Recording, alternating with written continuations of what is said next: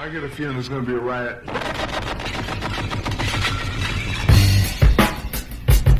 I don't read the newspapers